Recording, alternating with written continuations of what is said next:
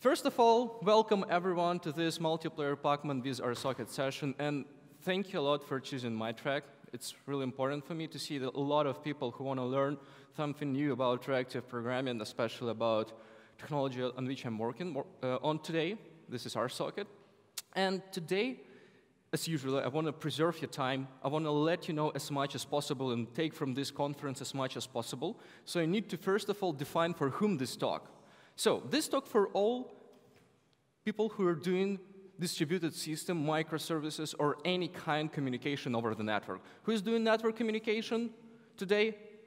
Distributed system, microservices, all kind of networked system? I hope everyone does. If you're doing mobile client or Android to server communication, it also will work for you. So it covers almost all kind of audience today.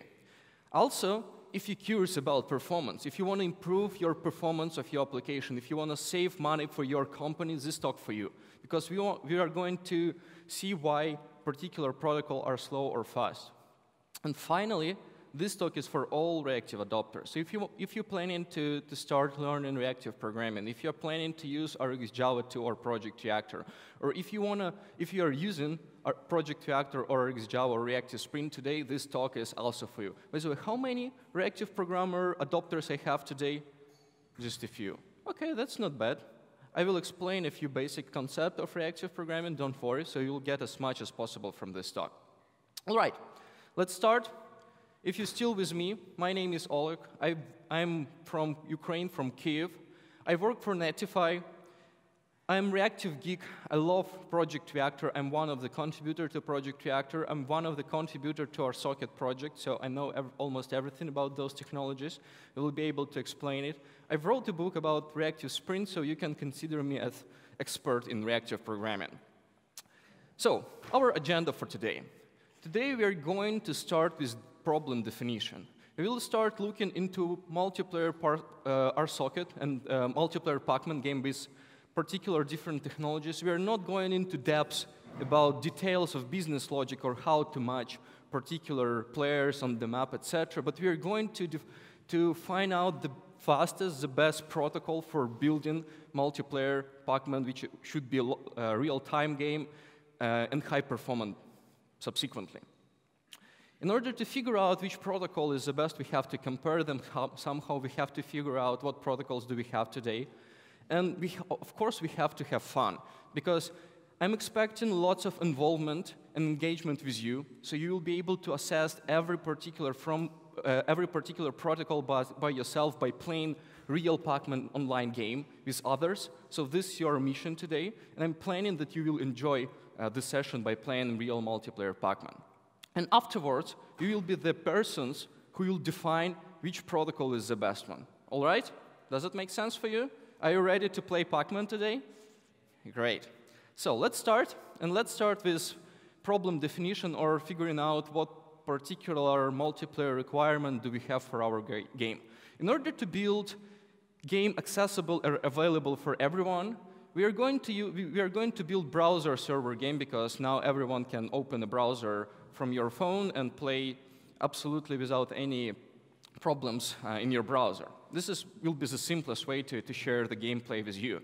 So in order to build a browser server communication or game, we have to have a server, first of all.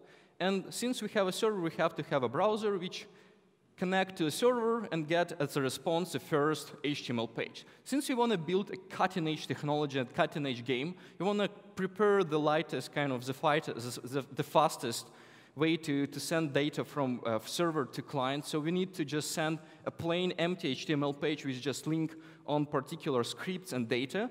And we expect that the server will push everything we need asynchronously. So it's kind of server-side push.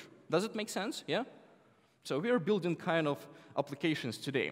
Once we got everything, kind of game tiles, all required information from our client, uh, from our server to our client, we need to make the next step, which is basically first interaction between client and server. So we need to say, okay, I want to play the game. Please register me on the map. So the server will respond, for example, with a state, with the current state of the game, with all active players on the map.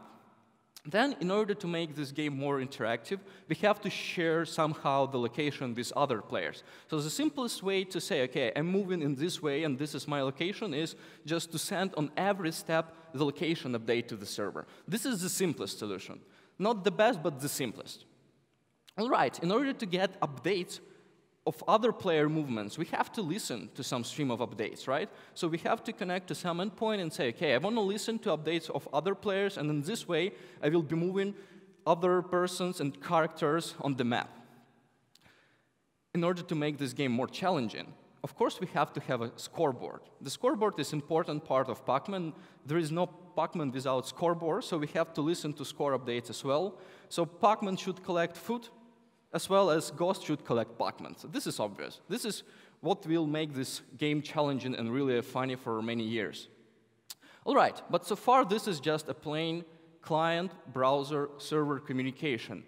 And I mentioned that there should be some distributed communication, some real microservices. So in order to make this system distributed, I decided to add a little bit of modern cutting-edge technologies like machine learning stuff, data processing pipelines, etc. So here is our application. In order to make some machine learning stuff, in order to create some artificial intelligence with some smart bots which allows us to, to play without other players, for example, we can make a challenge between bots or something like that, we need to, to collect some data. So one of the source of data would be all actions that you made on your phones. So we have to collect all the data you are doing or all the actions you are doing on your phone and we need to collect them somewhere. In the, any unclear situation, if you don't know where to send your data, just you put Kafka somewhere in between. Kafka is the proper solution. How many of you heard about Kafka before? Okay, great. That's, that's pretty cool. Why Kafka is, uh, is a proper solution here? Because we can't control the stream of data. We can't use any reactive streams technique. We can't control flow. So we know that we have to collect everything. So the clients push data as fast as possible, but since Kafka is basically an elastic storage, we can scale Kafka back and forth, we assume that this is proper solution which can handle any uh, throughput, any uh, stream of data without any problems. Behind the Kafka, since the Kafka is also reactive streams, we will put our data processing pipeline. So we will pull data from Kafka when we are ready to, to process them, because this is a real pipeline of data processing. We will process them, pre-process them how, we will try to gather them somehow, and then we will send it to final machine learning algorithm, which could work fast in case it's kind of normal state of the system. But since we are doing distributed system, we don't know at which state current machine are in, at that point in time, so we have to be prepared that something can get, go wrong and our server could work really well, as in real distributed system. So we should be ready to that, and we should handle all these cases because it's important to process all user actions in order to teach, to, to teach our bots. So to quickly summarize what we got from our requirements, from our communication between our client and server, we got server-side push because we need to get all the data synchronously without additional involvement from the client. We got plain request response because we somehow have to register our client and start playing the game. We have some client-side streaming because we have to share the location updates and we have to have server-side streaming in order to make this game real-time, right? In addition, we have machine learning pipeline which could work slow or fast because this is distributed pipeline, this is distributed system, and we can't control the particular state of the system. We can't preserve it just work fine or say, please work fine, don't crash. So we should expect everything, and what we have to do is we have to make sure that this system works stably on any kind of, um, under the, any uh, changes or any state of the system. So good, so far so good? Any questions? Okay, let's move forward. And let's talk a little bit about our toolkit that we are going to use in our project. So on the backend side, we are going to use Spring Framework. How many of you are familiar with Spring Framework? Any Spring Framework users? Amazing. This is the right technology. I love it. In turn, we are going to use Project Reactor because Project Reactor is a proper tool to build high-performance data and stream processing. So this is a proper solution if you want to achieve really um, good util utilization of your system. And we're going to use protocol buffer, because protocol buffer, have you ever heard about protocol buffer before? Okay, just a few hands. So for those who haven't heard about protocol buffer, protocol buffer is message format. It's binary message format, so it allows you to send smallest messages in the, in the binary format without any overhead. So it's from uh, Google, so it's pretty cool solution, and you have to take a look at this. On the front-end side, just for your information, because we are Java developers, of course, we are using Phaser. Phaser is just a, a UI and game, uh, game development framework in the browser, it allows us to build all these UI features and movement of pacmans and ghosts. In turn, I'm using Reactor.js for the same reason to make everything uh, looks very pretty and understandable and for the best uh, data processing style and speed. I'm using TypeScript because JavaScript is somewhat, somewhat super dynamic language, and I prefer to make my code pretty static and clean. That's why I love TypeScript, and I'm using in my solution TypeScript. And I'm using protocol buffer for the same reason as, uh, as before in order to make everything uh, identical on the both sides and in, in order to make my message sending pretty fast. So you can find all the source code by this link. If you're curious, if you want to follow everything that I'm doing, you can find all this reactive Pacman and multiplayer Pacman source code by this link. And now we are going to quickly look at our solution. Do you see it well? Can you recognize what's going on on the screen? Yeah? All right, so here I have a few modules in my system. So this is basically my game client. This is everything that I send to UI. This is basically, it's basically written in TypeScript. Here I have my game server, so it's my game engine, which is basically plainest Spring Boot application. I guess everyone in this room solved the same code before or done the same code in the past. So this is a real convenient way to just create simplest Spring Boot application. And here I have plain three-tier architecture, so this is a convenient way to build your plain microservice or a simple application, like monolith application in, in any cases. All right. On the other hand, I have a few parts of my, of my distributed machine learning pipeline. Of course, it's not final. There is no Kafka here in these modules, but just assume that this is part related to machine learning stuff. All right. This is my application. It looks pretty, pretty, pretty everyday application. You can take a look at, at this app, and you can rerun it and rebuild the same at home. OK, let's talk a little bit about protocols. In order to start building high-performance communication, we have to figure out what, what kind of protocols do we have. What kind of protocols do you know today? What are you using today in order to build communication between client and server? Any idea? HTTP, yes, this is one of the way to, to way to we are building communication between client and, and server and dis, in distributed system in general. I heard TCP. TCP, absolutely correct way to build high performance communication for game development, right? Absolutely correct. Do we have anything else designed for high performance? Any idea? Come on, friends, wake up a little bit. UDP, can we use UDP on the browser side? And should we consider this as reliable protocol? Unfortunately not. Maybe HTTP2? Have you ever heard about HTTP2? Yeah, everyone heard. This is also one connection, almost binary data sending, so it should be really high performant. And yeah, there is more exotic protocols so far, but we are going to focus only on those three. But one question, can we use TCP on the browser side? Can we? Any idea? TCP between browser and server? Huh? Yes, we have to use WebSocket. Unfortunately, we can't use just a plain TCP because TCP is not available in the browser. However, we have a more modern version of TCP, which is WebSocket, which is almost the same as TCP. So this is basically our set of protocols at which we are going to look today. Sounds good? Great. So how to compare them? From my experience, the main things that we have to consider during comparison of, of those of protocols, there is like a few characteristics, main characteristics. First one is maintainability. So what ma maintainability means? It means that you can Google for a particular solution and find an answer. You can go to Stack Overflow, ask how to build something with HTTP, and you will find tons of answer. This is maintainability. You can find, you can Google how to create something with HTTP, and you should find any solution, tons of examples over the Google with particular dif particularly different languages, and this is maintainability. And your code should be beautiful. This is also maintainability. So this is somewhat we have to consider because it makes your solution uh, maintainable, simpler in development, etc. The next thing that we have to consider for our case, because we have this machine learning pipe, we have to consider stability. And every distributed system should consider stability because this is important. If you crash your system, this is what won't reflect on your business real well. So we have to make sure that our solution really work well with particular protocol. And finally, for our case, for our, our solution, and for any solution, and for any business who wants to preserve money, we have to consider performance. Because for our case, this should be real-time game, and our protocol should provide particular level of low latency and high throughput. Yeah, does it make sense? Great. So let's start from old HTTP. Let's just consider old HTTP, and let's take a look why HTTP is good. Why should we consider HTTP? First of all, because this is a plain and simple solution.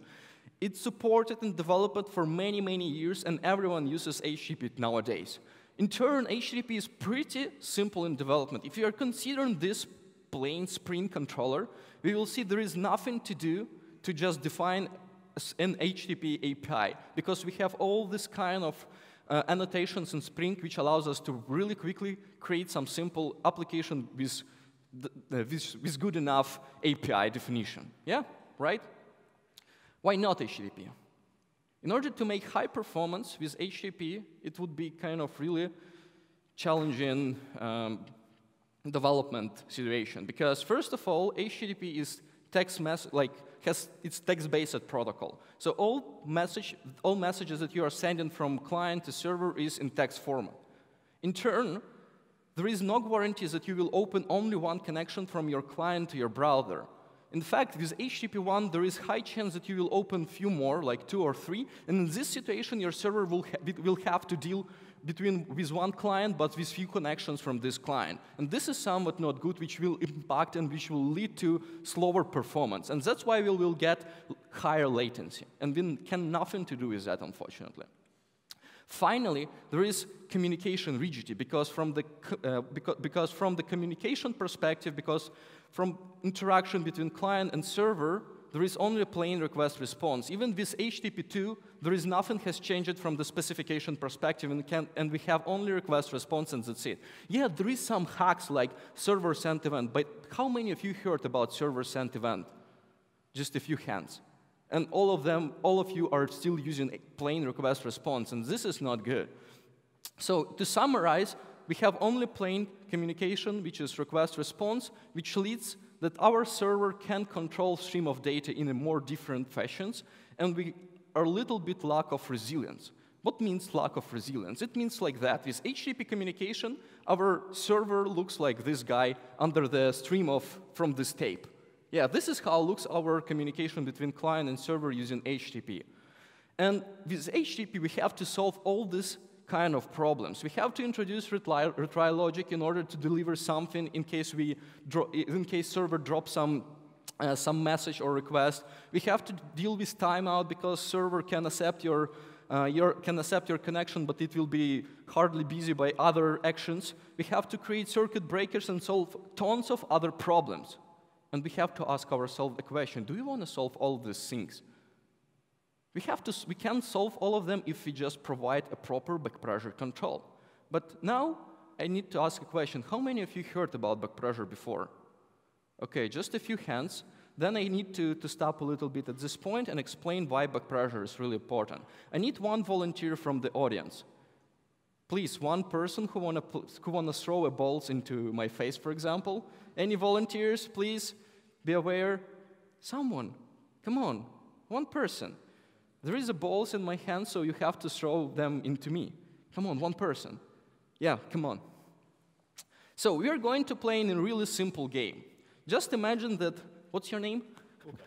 Lucas, you're client, yeah? You are in client role, I'm server. So once I start up, I'm saying to, to the world that I'm ready. And now you, the client, what client does, usually does, it sends messages as fast as possible, right? So your client, please send messages as fast as possible. But one point, I'm server which has only two hands. So this is kind of two threads which have to handle all kind of requests. So please start sending one by one, not, not all of them, but one by one quickly. One by one, all of, yeah. And yeah, that's what basically happens with, please be with me.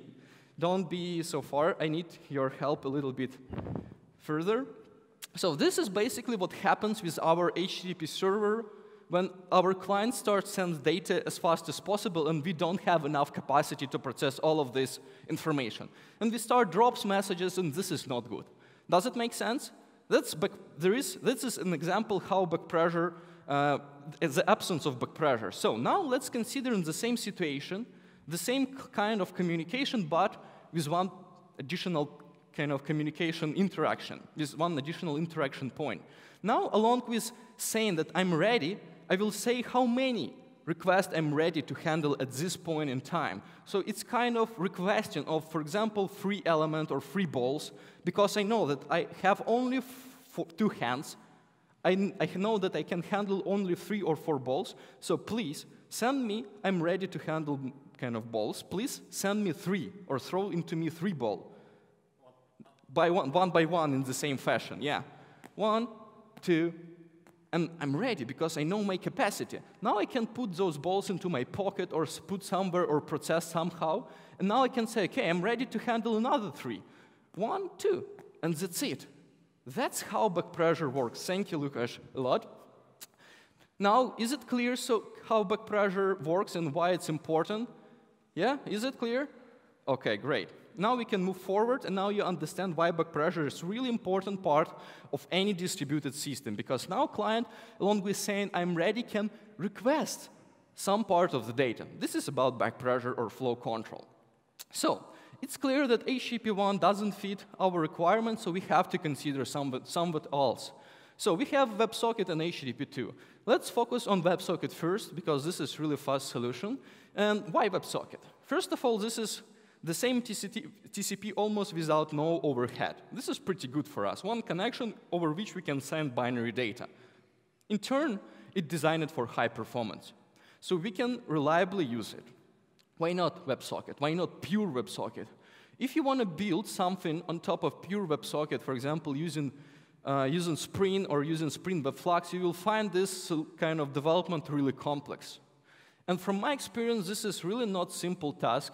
And after all, you will end up with your own application protocol because you would have to define your routing, you would have to define your message format, you would have to define additional headers and metadata, and this is not good. This is somewhat you don't want to maintain all the product evolution, etc. Because at some point in time, someone requests for more features, and you would have to, uh, to, to include them and build in into your, into your own application protocol, and then it's really hell of maintaining of your own solution. This is not good from my point, uh, point of view and from my experience. Of course, there is existing solution. Of course, there is somewhat exist something existing like SockJS and Stomp, which allows you to build messaging over the WebSocket. So this is a protocol built on top of WebSocket. There is Socket.io, and Socket.io is really popular, for example, in JavaScript world, so let's try to build something on top of Socket.io. Socket yeah, let's try to, to do that. And let's take a look at Socket.io. Just imagine that we have already built something using Socket.io, and now we have to test this. Now you're in the role of testers. Please enter this link. Please follow this is really plain link in order to get access to the game. So there is ESGD socket IO, really plain link. You can put it in your, uh, in your browser and get an access to, to the game. Please join this assessment since we have to figure out that socket IO is good or not good. You're the main uh, kind of people who do final decision.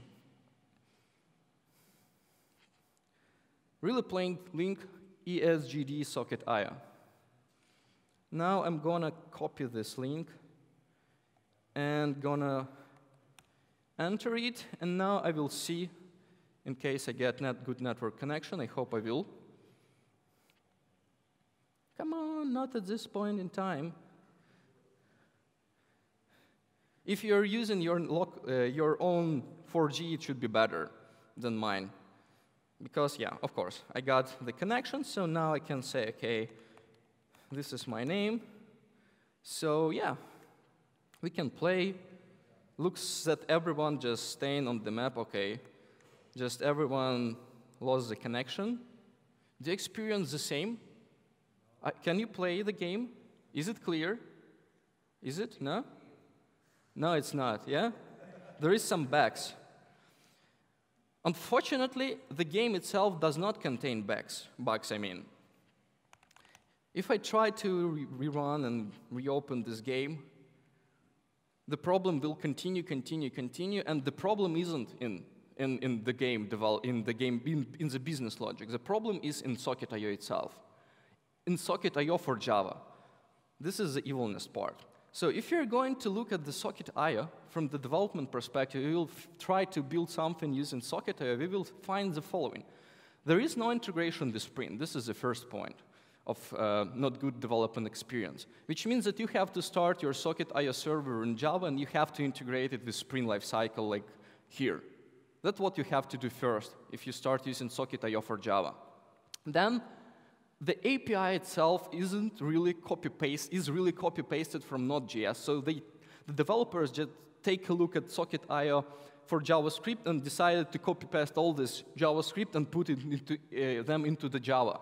And if you're going to develop something with socket Socket.io, you will see the, the API definition like this. And this is somewhat we are not get used uh, to in, uh, in normal Java development. In turn, Socket.io is built on top of Netty. From my experience, Netty is really high performance server, and it should perform really well. That's why I decided to use this Socket.io uh, for, for Java solution and not, not others because of Netty. How many of you heard about Netty or used that? So Netty is really, really high performance web server and framework for web development in general. And the main feature is direct access for kind of off-heap memory. So you just got a byte. Those bytes are, are kind of uh, allocated somewhere on the network card. And instead of copying everything to your heap, you can, you can directly access to those data, um, to those kind of part of the memory uh, outside of your Java application. This is amazing part of, of. That's why it's really high performance and doesn't require to, to involve garbage collector into your development. So far, if you try to build something with Socket.io for Java, you will find that there is no direct access for, to, to your byte buffs, and you have to copy everything to your heap. And this is the main reason of low performance in Socket.io for Java. And unfortunately, there is no other solution for Socket.io in Java, I mean like a Java server. That's not good. So there is a point when Socket.io is pretty good solution, where it works just like a clock. And this point is JavaScript. In JavaScript, it works pretty well. Unfortunately, for Java developers, Socket.io is not the best solution. All right. So it's clear that Socket.io is not good, and WebSocket development for using existing frameworks is a little bit complex, so we have to take a look at somewhat built on top of HTTP2. And one of the most popular solutions built on top of HTTP2 is gRPC. Have you ever heard about gRPC? Okay, a few hands. So gRPC is proper web kind of uh, streaming service or framework built on top of HTTP, and which allows you to create only one connection and stream multiple things through this one connection. So this is a cool solution. And now we have to assess it and figure out whether it's better than Socket.io or not. So do the same. The link is pretty similar, ESGD reactive gRPC right now. So please use this solution. And now we have to assess whether the performance or gRPC is better. So let me do the same. Let me copy this link.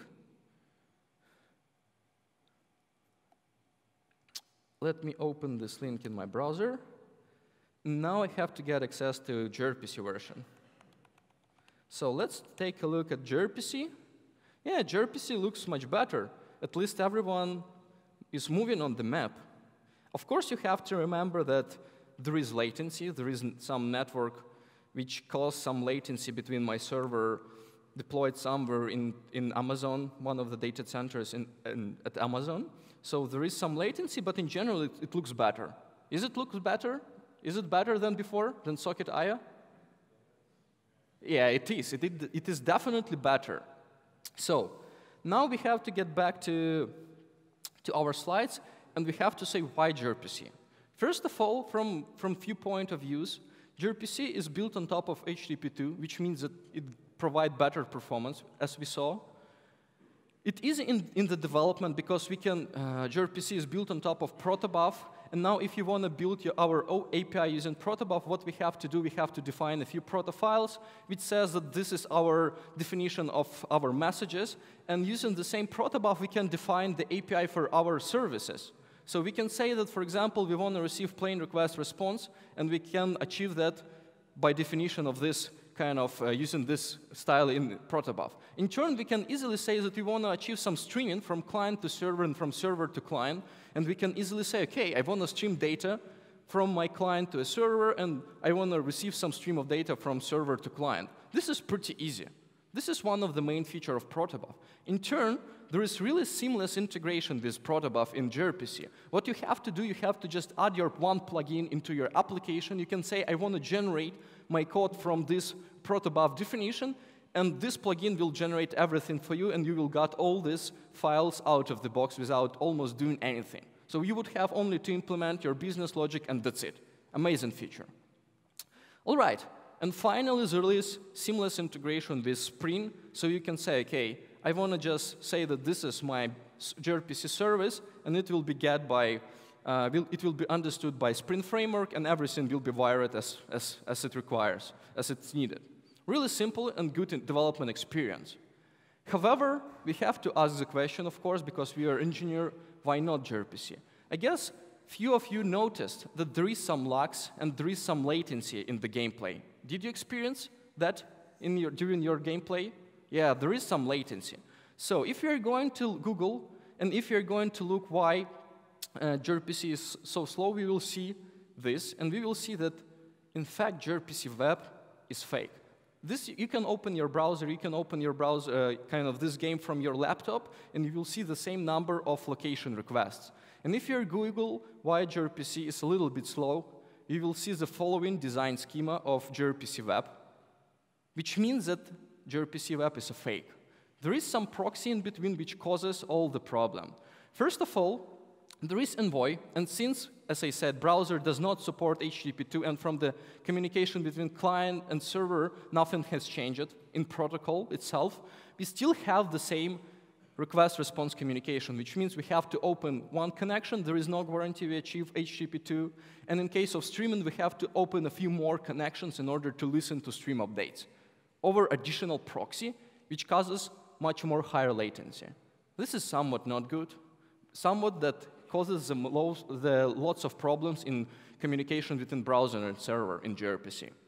So, of course you can say, but wait, gRPC is pretty reliable since between server and server communication, we can, we can achieve only one connection, which should good, uh, pretty good.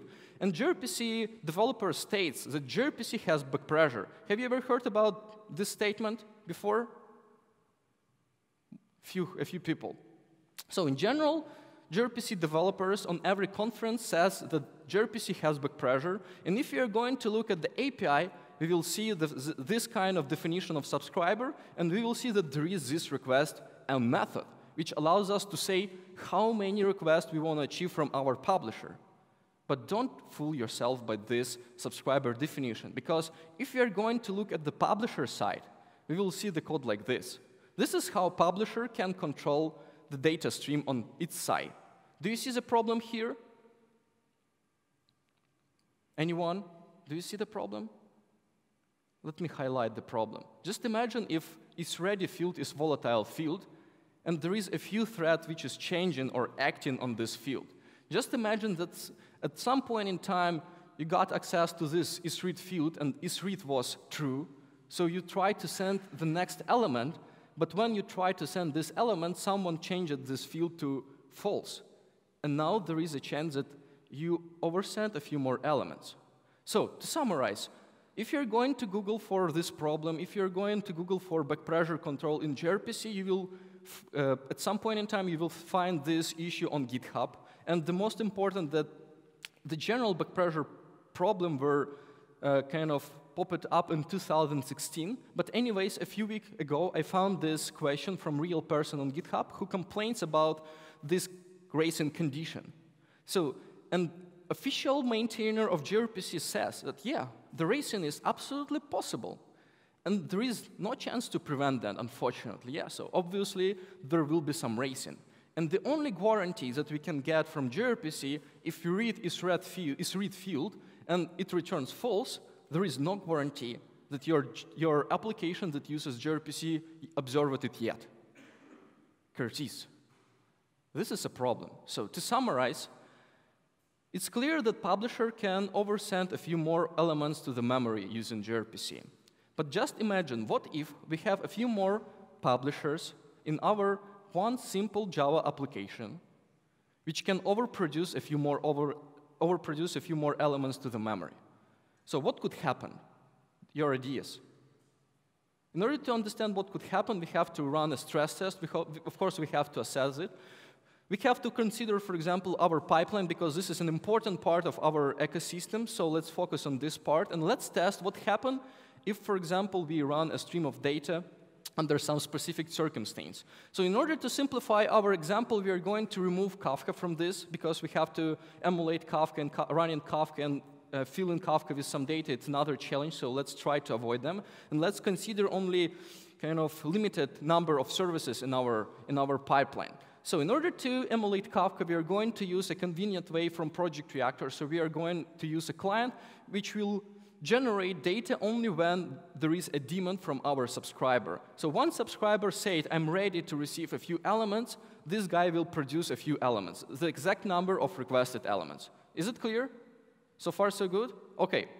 So now, what we have to test, since the, the distributed system is unstable and we can get fast subscriber or fast kind of subscriber at the first point in time, so everything should be fine when there is a, uh, we have stability in the system. We have to test what happens when our subscriber suddenly became slow one. And we have to figure out whether all the part of our pipeline will survive or die during this test. That's what we are going to, to check during this scenario testing. In turn, in order to make our test more uh, kind of closest to what we have in real cloud, because today we are running Kubernetes, we run our application in, in, containers, and we are given only a few gigs of memory, only a few gigs of RAM and CPU, a few CPUs to our container. So we have to check and we have to make our test as close as possible to, to what we are running in real cloud. So if you are going to run this test, there is a link to real video. You can watch the video and this is the same, um, kind of look at the same test.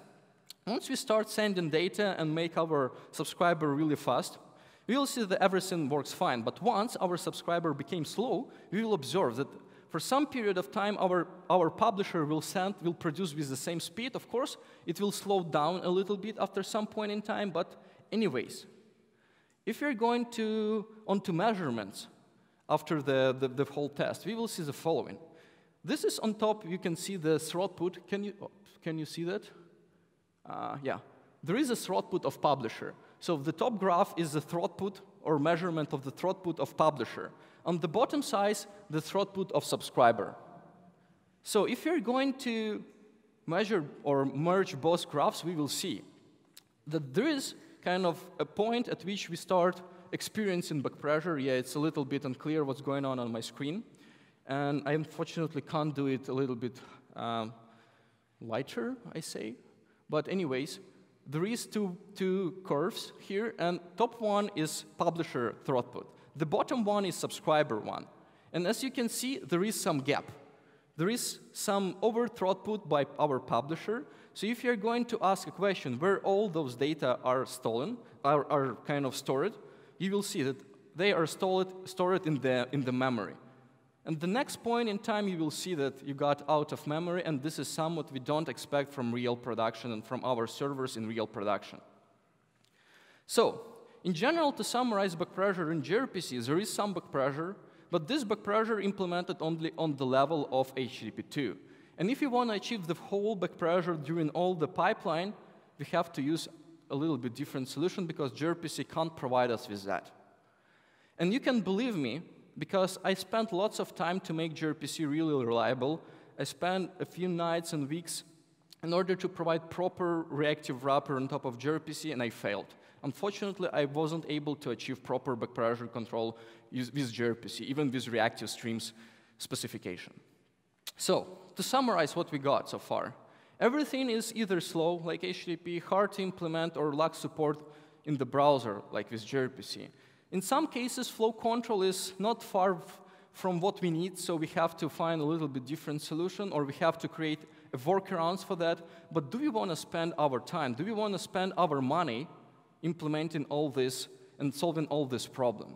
The same question were asked four years ago at Netflix, because Netflix, as you heard, this is a real shop of streaming data from one side to another, and in their cases, they got only the, almost the same, the same kind of data streaming pipe.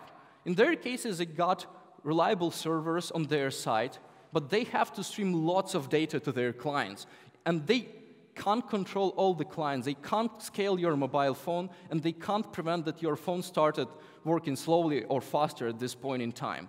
And they tried gRPC to put everything, like to replace all plain HTTP communication because they believe that gRPC provides proper backpressure, as Google state, and they failed.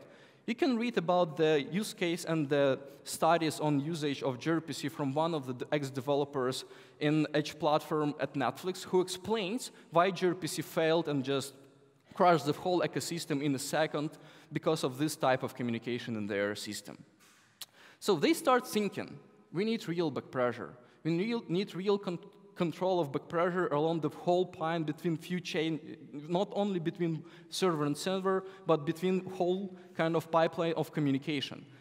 And since they, they are, were invade, invented RxJava, they invented lots of amazing things for distributed system, they decided to create a real reactive streams protocol with real backpressure. And that they named this protocol RSocket. So you may wonder, what is RSocket? From my point of view, RSocket is a bright future because RSocket is exactly reactive stream specification as a network protocol with all this future and all this backpressure propagation as a packet over the network. This is an important point. So why RSocket, uh, why RSocket is fast and good enough for our development? First of all, it's a binary protocol. If you want to send one message from one client to another, you have to take care to decode it to binary format, but RSocket will take care to deliver this whole message as one frame, so you will be able, on the other side, on the recipient side, to just take this packet and decode it back without any problem to the same message. So RSocket takes care about message delivery in binary format.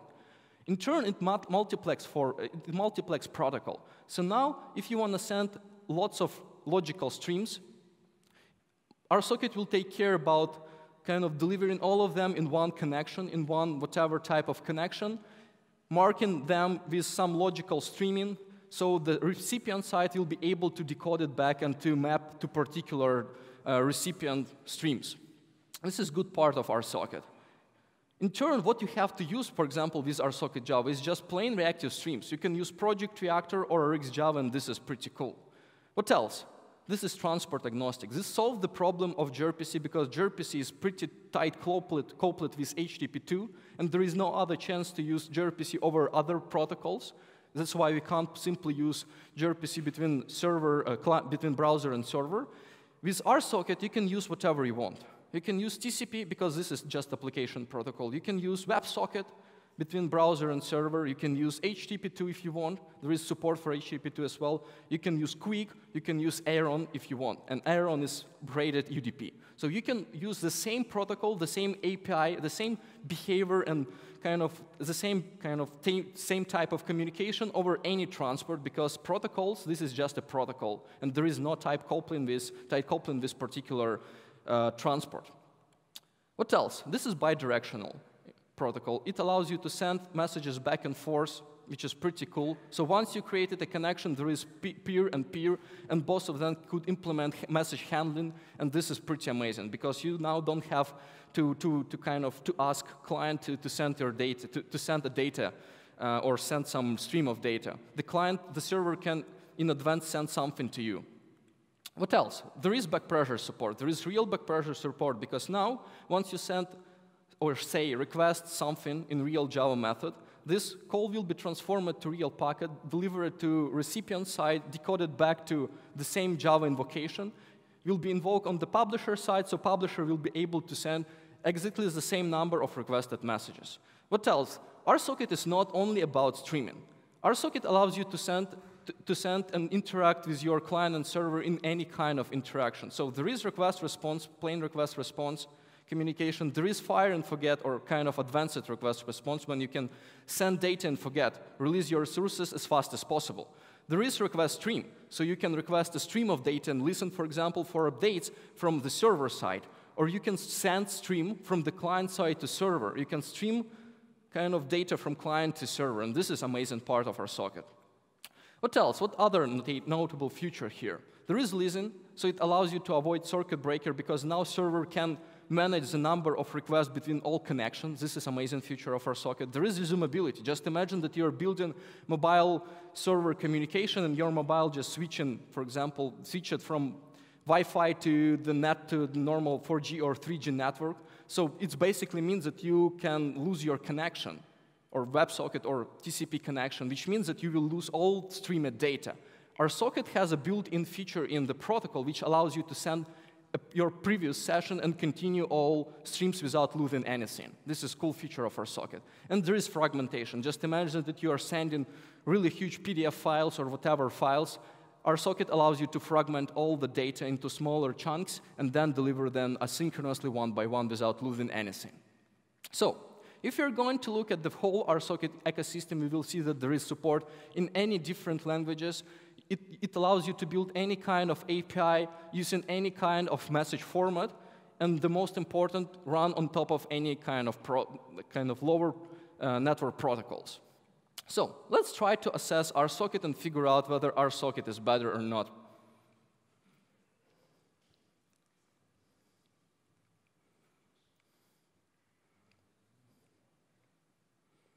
So let's do that.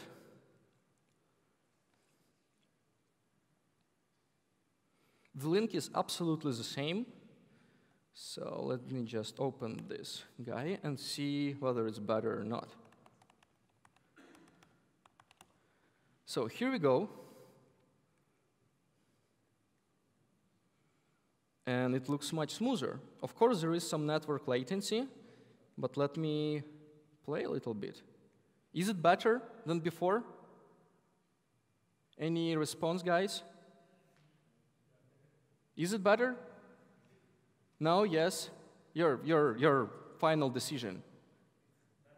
Yeah, it's better. Of course, I have some network latency because of unreliable Wi-Fi in my room, but anyways, if I try to run this on my phone or phone network, it should be better.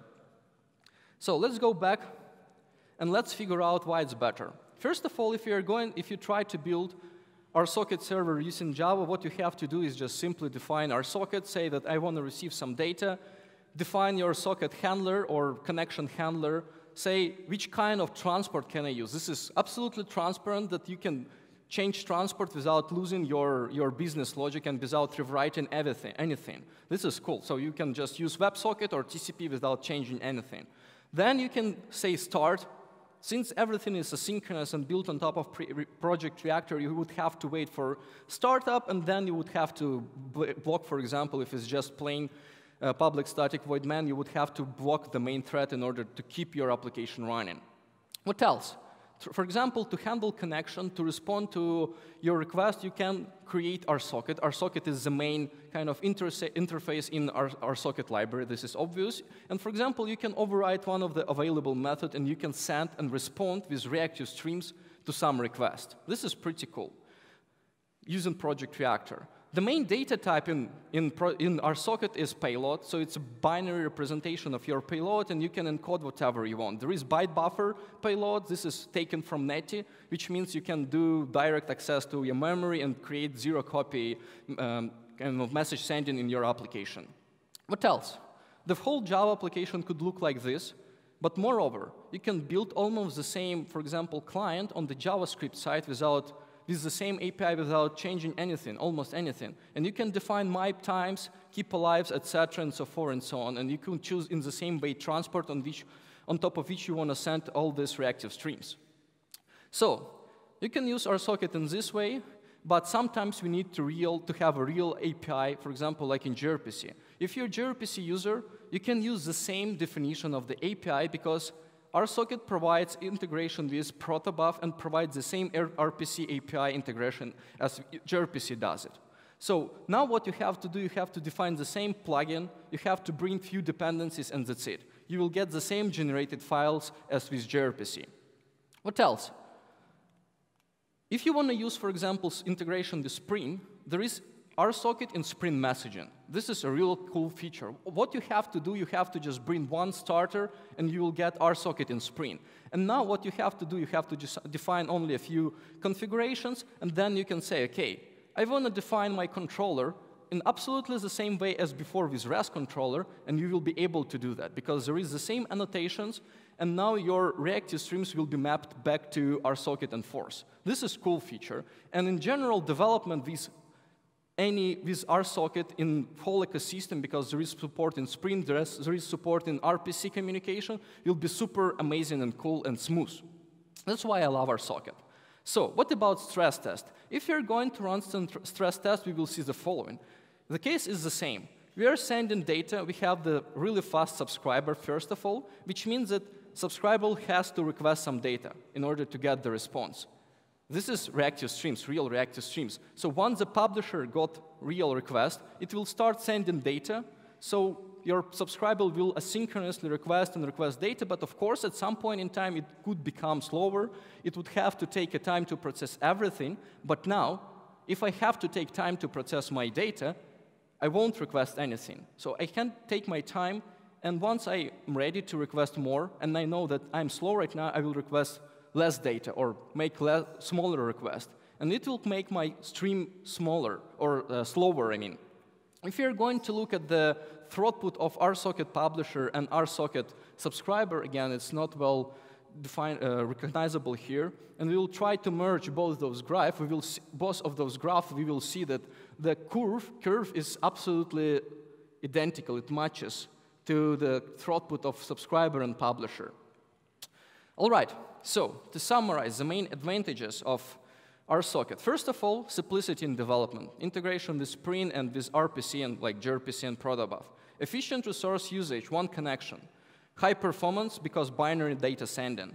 High flexibility because you can do request response, request streaming, and all kind of normal communication in your applications. And there is really efficient, effective reliability because you have real back pressure propagation through the whole of pipeline. Since we are engineers, we have to listen to disadvantages as well. And the main disadvantage of RSocket for now is that this framework is still under development. RSocket protocol itself is still in the phase of 0.0.1, but it doesn't mean that it's not production ready. It just means that there is not all the future implemented in, in the protocol and in the particular implementation for particular language. In turn, the next disadvantage is that community is still a little bit narrow. So we don't have really wide adoption of RSocket, but I'm working on that. I'm planning that at least a few people or a few more will try RSocket and read about RSocket solution today. So I have to say that maintainers that do their best to improve RSocket, to implement RSocket in, in their infrastructure are pretty good. If you're using Facebook, you're using uh, RSocket today with GraphQL because Facebook decided to move from HTTP to RSocket in order to uh, kind of decrease number span of spans on their infrastructure, and they got success. Our company and Pivotal are doing their best to, to make this framework integration as much as, as seamless as possible, so you can use it with Spring, with RPC communication, and you won't experience any bugs. And Alibaba saw all this progress from Facebook, from our company, decided to start adopting RSocket in their cloud infrastructure as well. And this is super amazing. So, to summarize all the feature of, uh, of RSocket, we have to look at this table. Every protocol has its own benefits, of course, some disadvantages and, and advantages like adoption and community.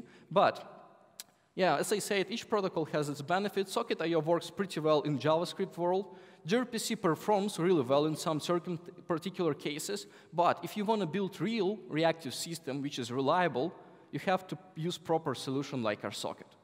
So, If you want to learn a little bit more about RSocket, please follow me or my company on Twitter. I'm usually tweeting lots of things about RSocket.